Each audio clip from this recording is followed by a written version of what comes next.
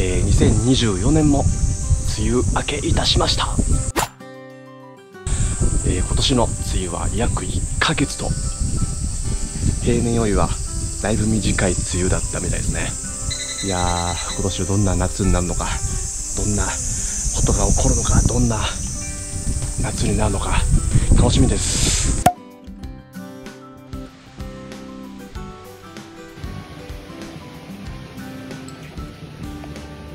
おビー玉サイズのスイカができてます。これが大きくなってくれれば頑張れ。かぼちゃができました。大きいしっかりしたかぼちゃができました。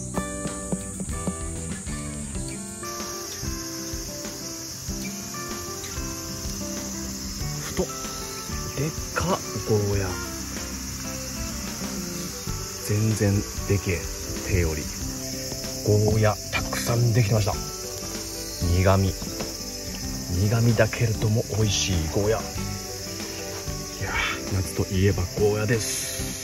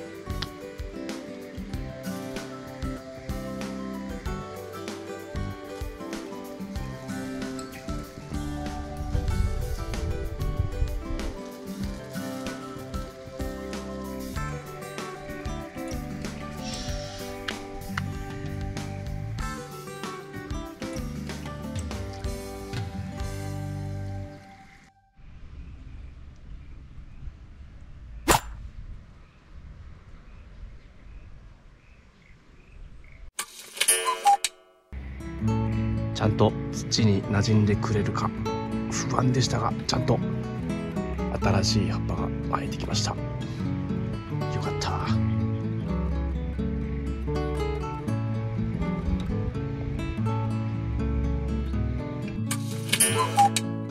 おブルーベリーっぽくなってきてます。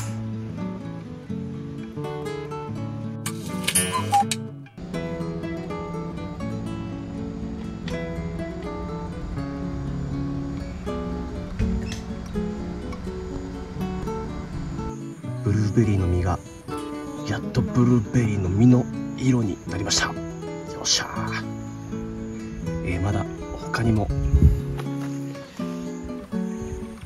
実がたくさんついてるんですがまだ色はブルーベリーの色じゃないですね。ブルーベリーがちらほらたくさんでき始めております。えー、このブルーベリーの品種はラビットアイという品種っぽいですね。ラビットアイ。ウサギの目のような色。それっぽい色。からそう言われているっぽいです。えー、せっかくなんでブルーベリー味わいたいと思います。行ってみよう。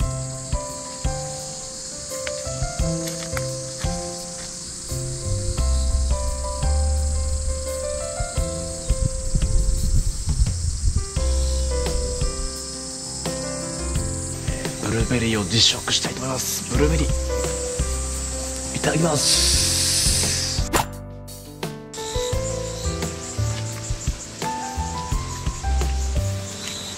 うん。酸味が酸味が強い。まだ甘くなるんでしょうか？こうご期待。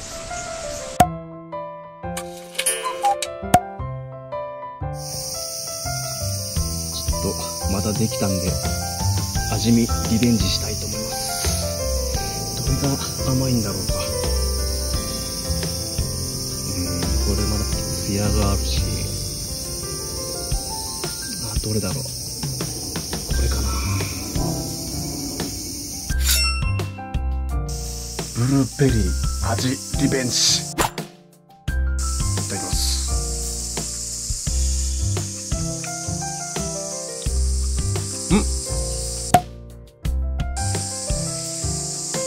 これは。甘みが。甘みがあります。つい1週間ぐらい前はもう酸味しかないすげえ酸っぱかったんですけどやっと甘みに変わりました。わすげえうまい。初めてのブルーベリーを育てるという企画、えー、なんとか大成功しました。ありがとうございます。来年もっといっぱいブルーベリーがなったら皆様にお届けをするかもしれないししないかもしれません。夏はまだまだこれからなんで無理せず頑張っていきたいと思います。しかし暑いな。